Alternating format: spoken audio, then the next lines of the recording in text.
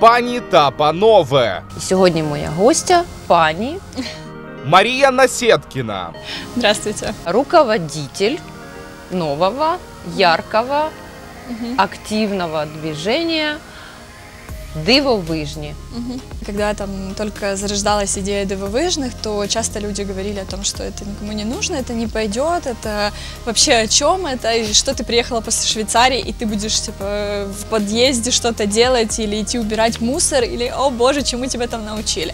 А теперь те же самые люди, которые видят влияние этого проекта, которые понимают, что это далеко не про мусор э, и не про какую-то уборку Це подъездов. якраз не про мусор. Это как раз, да, не про это. Они изменили уже свое мнение и спрашивают, а когда там у вас будет следующее мероприятие, а с чем можно помочь? А я вот тоже такое начала делать. Изменения, они уже происходят, и каждый может в них включиться и усилить, и ускорить эти изменения.